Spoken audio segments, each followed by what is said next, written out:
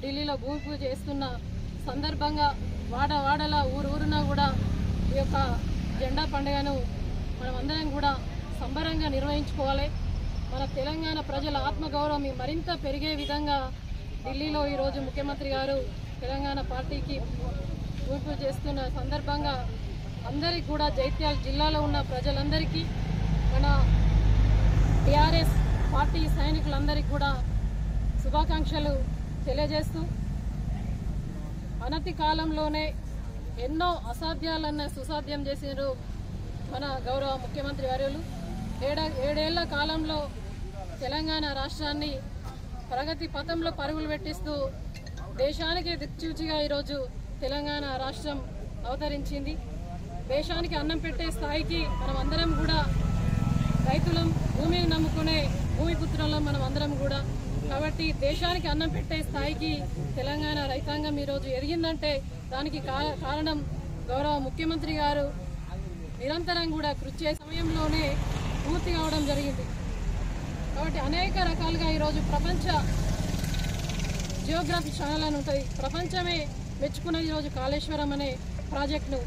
కాబట్టి అలు పెరగని ఒక మహానేత ముఖ్యమంత్రి గారు ఇరవై ఏళ్ళ సుదీర్ఘ కాలంలో మన టీఆర్ఎస్ పార్టీని అడుగడుగునా కూడా ప్రజల గుండెల్లో ఆత్మవిశ్వాసం పెరిగే విధంగా ముఖ్యమంత్రి గారు కల్వకుంట్ల చంద్రశేఖరరావు గారు ఈరోజు ఈ గులాబీ జెండానే ఈరోజు మనకు వృద్ధులకు ముసలవలకు ఇంటికి ఒక క- కన్న కొడుకులాగైంది.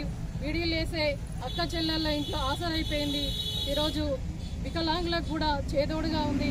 అదేవిధంగా ఒంటరి మహిళలను ఇంటికి ఒక కన్న తల్లి ఒక అన్నగా ఆదరించిన పార్టీ ఏదైతే ఉందంటే ఒక టీఆర్ఎస్ పార్టీయే.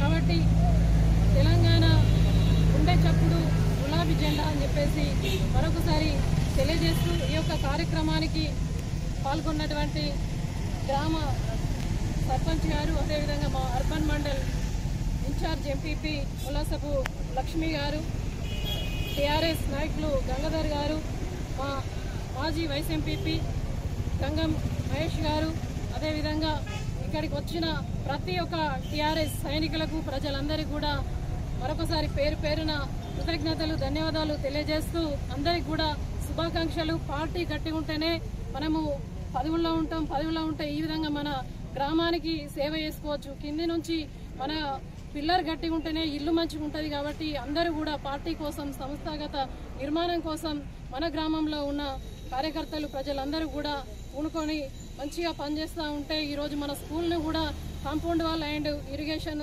ద్వారా కూడా అది స్లాబ్ కూడా వేయడం జరుగుతుంది. అదేవిధంగా అభివృద్ధి కార్యక్రమంలో భాగంగా తిప్పన్నపేటలో కూడా పలు అభివృద్ధి కార్యక్రమాలు కావాలని చెప్పేసి గ్రామ ప్రజలు అడగడం జరిగింది. అవి కూడా త్వరితగతినే పూర్తి చేసుకుంటాం. ఇదంతా ఎందుకు చేసుకుంటున్నామంటే కనుక టీఆర్ఎస్ పార్టీ గట్టిగా ఉంటే ఇట్లా ఈ విధంగా మనకు జడ్పీ చైర్మన్ అనే పదవి రావడం అనేది టీఆర్ఎస్ పార్టీ వల్లనే ఒక కన్నతల్లి టీఆర్ఎస్ పార్టీ కాబట్టి మీ అందరి ఆశీర్వాదంతో జైత్యాల జిల్లాలో ఉన్న ఎమ్మెల్యేలు కావచ్చు మన కల్లకుంట్ల కవితక్క గారి దివ్య ఆశీస్సులతోటి అధిష్ట అధిష్టానం ఆశీస్సులతోటి ఈరోజు మన గ్రామాన్ని కూడా జిల్లాతో పాటు మన గ్రామాన్ని కూడా బ్రహ్మాండంగా అభివృద్ధి చేసుకోవాలంటే పార్టీ గట్టిగా ఉండాలని చెప్పేసి మీ అందరికీ ఒకసారి సవినయంగా తెలియజేస్తూ మరొకసారి శుభాకాంక్షలు. జై తెలంగాణ!